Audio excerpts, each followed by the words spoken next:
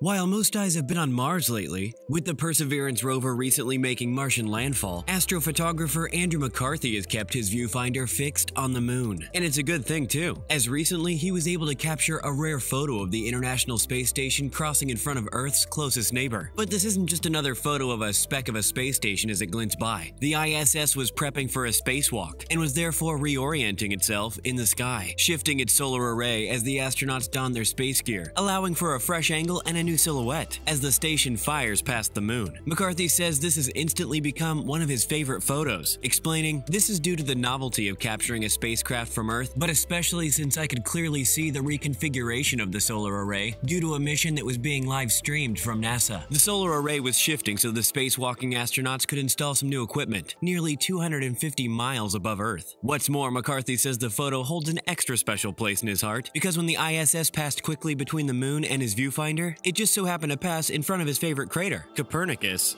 as well.